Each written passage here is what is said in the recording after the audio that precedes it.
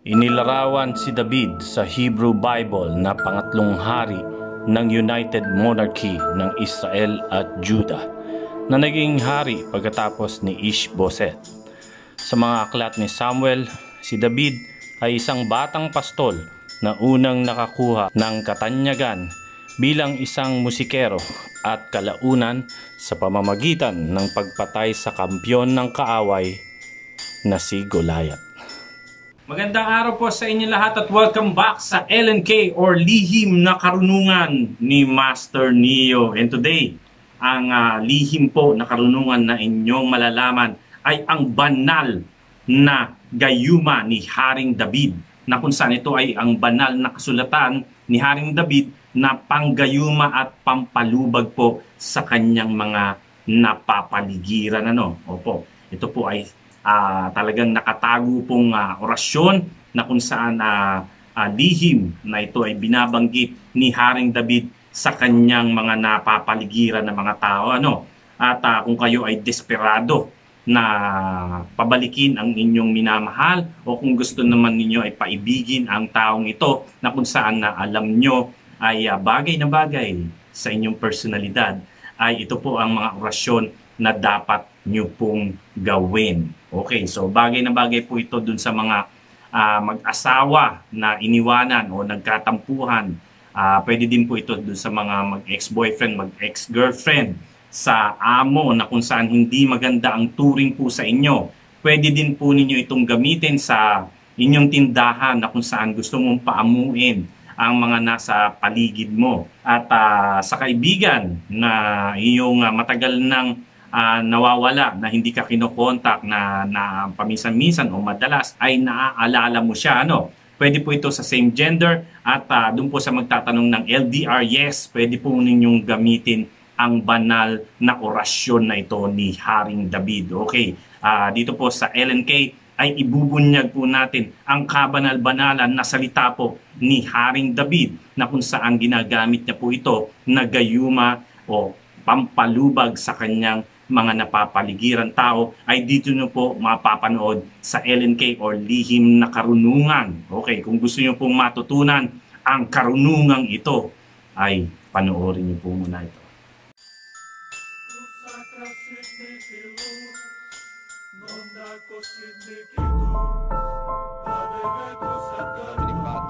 Ang mga kaalaman ito ay aking pinagbuklod-buklod upang maging tulong sa mga taong nais na tahakin ang landas ng pag espiritual at upang manatili sa atin ang mga isinulat ng ating mga ninuno upang hindi ito mabaon sa limo. Akin pong ipinanalangin na sana ang magtataglay ng karunungan na ito ay may diwang makajos at makatao. Sana po ay gamitin po ninyo ang karunungan na ito sa kabutihan. Opo, tama po yon Uh, paalala po na gamitin ang inyong mga matututunan na mga orasyon sa kabutihan. Paalala po na huwag pong gagamitin ito sa uh, kasamaan kagaya ng paninira po ng pamilya na masaya. Huwag pong gamitin ito dun sa may mga karelasyon na na alam nyong sila ay masaya. At higit sa lahat ay wag na wag po ninyo itong gagamitin sa inyong pagkakapirahan lang. Lalo-lalo na po kung ang inyong ginagayuma ay may kaya o mayaman. At meron din pong uh, masayang pamilya. Dahil po ito po ay may uh, balik po na matinding karma.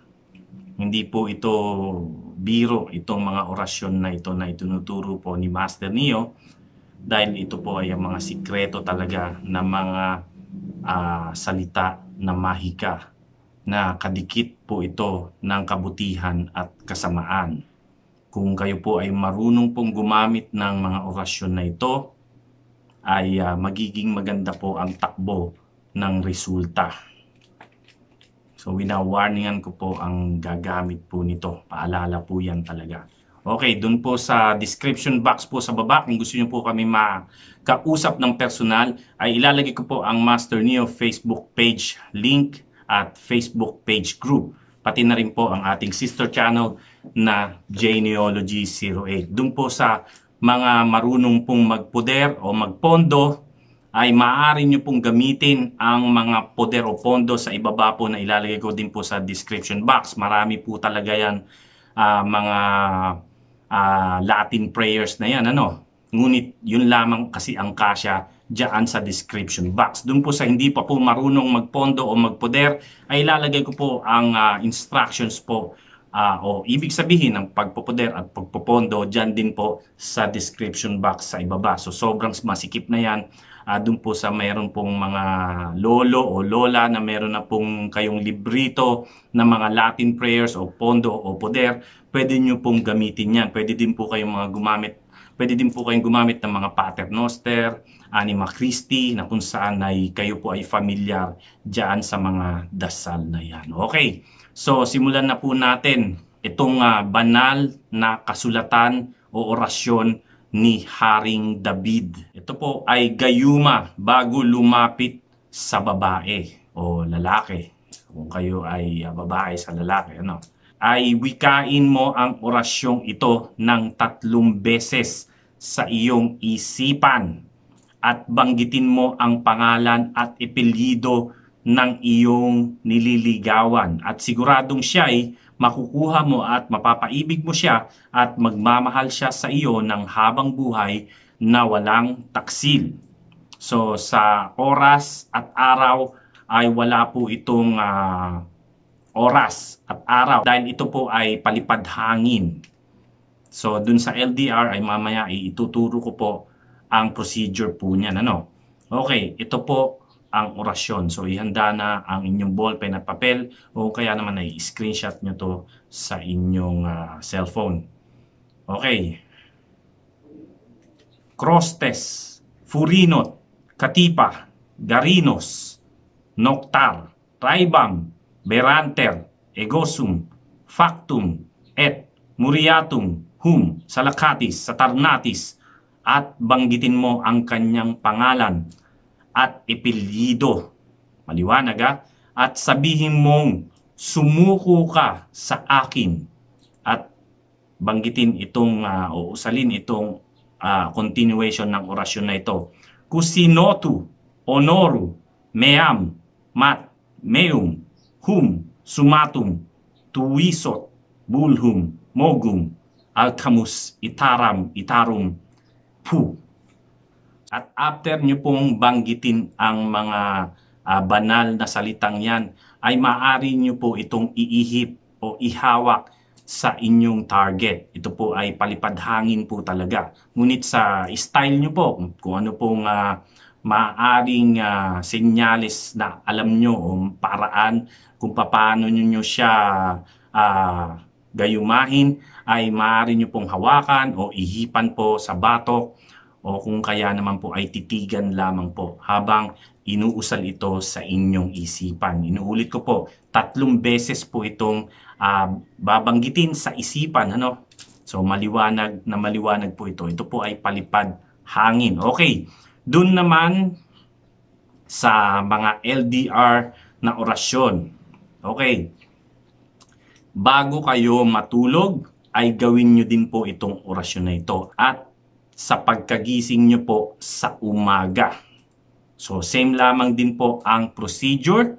Banggitin po ang uh, mga katagang ito. Ang uh, Crostes, Furinot, Katipa, Garinos, Noctar, Raibam, Beranter, Egosum, Factum, et Muriatum, Hum, Salakatis, Satarnatis, at again, banggitin mo ang kanyang pangalan, buong pangalan, kasama po ang ipilyido. Kung meron po kayong picture, ay pwede nyo po din itong gamitin. Inuulit ko, pwede nyo po itong gamitin. Option, optional po ito. Kung wala ay okay lamang po. At sabihin mong sumuko ka sa akin at ipagpatuloy ang uh, banal na salita. Kusinotu, onoru, meam, mat, meum, hum, sumatum, tuwisot, bulhum, mogum, alkamus, itaram, itarum, pu. Doon po sa mga nag-aalala na hindi hindi tama ang kanilang pagbigkas ay huwag pong mag-alala as long as kumpleto po ang inyong mga letra sa pagbibigkas. Huwag po kayong mag-alala kung kayo po ay Bisaya o Ilocano na medyo uh, hindi po ganun ang uh, kapareho ng pagbibigkas ko. Uh, Doon po naman sa mabilis mag-memorize ay mas maganda po sa inyo na i-memorize po ito, no? Para po hanggat maaari ay mabilisan din niyo po itong magagawa. Siyempre, tatlong beses na medyo mahaba-haba po itong banal na salitang ito ni Haring David. So kung gusto niyo pong umepekto yan ng lalo, again, uh, magpoder o magpondo. Pwede niyo naman po itong gamitin as long as alam niyo po na nasa tama po kayo. Ano? Kung hindi, ay tatamaan kayo sa akin. Okay. So yan po ang buong uh, lihim na salita ni Haring David na pampagayuma o pampalubag. Okay, again, dun po sa mga binawarningan ko po, dun po sa mga gagawa po na hindi po maganda, ay alam nyo na po ang magiging consequence po nito.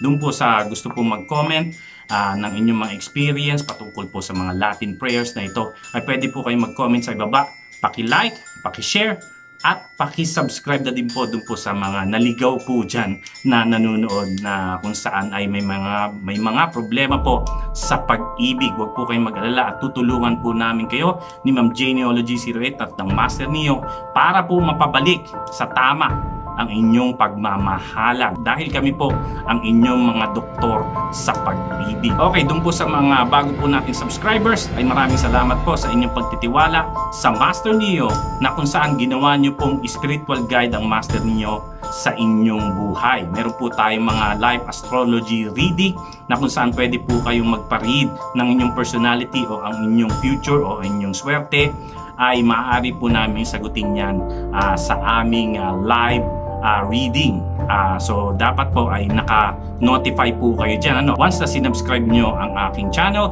uh, paki-click uh, na rin po ang notification bell para agad-agad po na kayo ay mai-inform po ni YouTube. Okay, hanggang dito na lamang po. Ito po si Master Neo, ang inyong Master Astrologer, Numerologist at Spellcaster na nagsasabing everything is already written in the stars. Maraming salamat po sa inyong lahat.